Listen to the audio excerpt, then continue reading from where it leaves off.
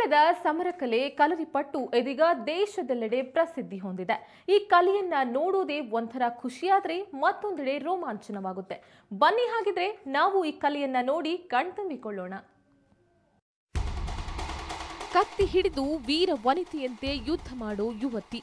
ಕೈಪೋರಿ ಎಂಬ ಕುಸ್ತಿ ಕಲೆಯಲ್ಲಿ ತಾಮುಂದು ನಾಮುಂದು ಅಂತ ಯುದ್ಧಕ್ಕೆ ಇಳಿದ ಮಕ್ಕಳು.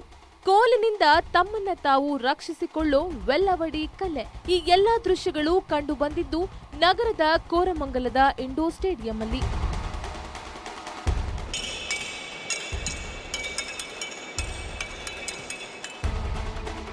ಕಳೆದ ಎರಡು ದಿನಗಳಿಂದ ನ್ಯಾಷನಲ್ ಕಲರಿಪಟ್ಟು ಚಾಂಪಿಯನ್ಶಿಪ್ ನಡೀತಿದೆ. ಈ ಚಾಂಪಿಯನ್ಶಿಪ್ನಲ್ಲಿ ಯುವಕರು, ಯುವತಿಯರು ಹಾಗೂ ಮಕ್ಕಳು ಸಹ ಭಾಗವಹಿಸಿದ್ರು. Police is there, government is there, law is there. Number of laws are enacted to protect the uh, protect and keep the interest of the women, but they are being assaulted, they are being molested even, they are being seduced.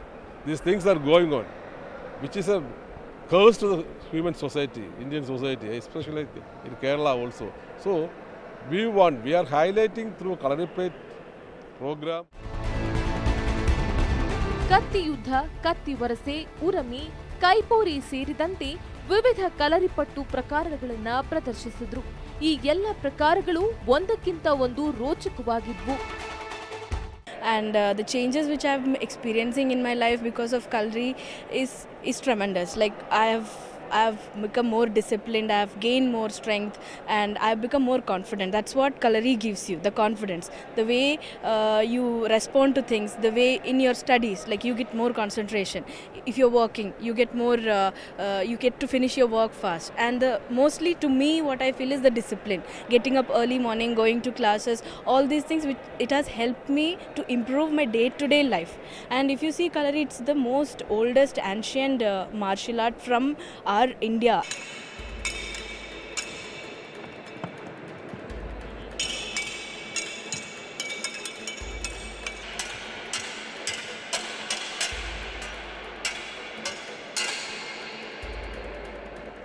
ಅಂದ ಹಾಗೆ ಇಲ್ಲಿಗೆ ನಾನಾ ರಾಜ್ಯಗಳಿಂದ ಸುಮಾರು ಹದಿನೇಳಕ್ಕೂ ಹೆಚ್ಚು ರಾಜ್ಯಗಳಿಂದ ಬಂದ ಕಲರಿಪಟುಗಳು ತಮ್ಮ ಕಲೆಯನ್ನ ಪ್ರದರ್ಶಿಸಿದ್ರು. ಇನ್ನು ಈ ಸ್ಪರ್ಧೆಯಲ್ಲಿ ಗೆದ್ದವರಿಗೆ ಚಿನ್ನ, ಬೆಳ್ಳಿ ಹಾಗೂ ತಾಮ್ರ ಸೇರಿದಂತೆ ವಿವಿಧ ಪ್ರಶಸ್ತಿಗಳನ್ನು ನೀಡಲಾಗುತ್ತೆ.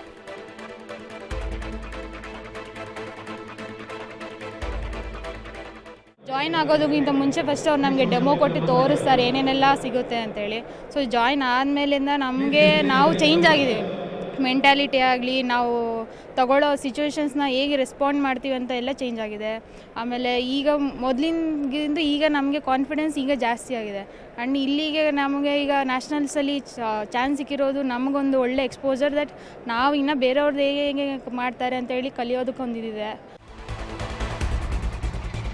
ಒಟ್ನಲ್ಲಿ ಆಧುನೀಕರಣ, ಡಿಜಿಟಲೀಕರಣದ ಯುಗದಲ್ಲಿ ನಮ್ಮ ಪ್ರಾಚೀನ ಕಲೆಯನ್ನ ಇತರರು ಸೇರಿದಂತೆ ಮಕ್ಕಳು ಉಳಿಸಿಕೊಂಡು ಬಂದಿರುವುದನ್ನ ನಾವು ಮೆಚ್ಚಲೇಬೇಕು.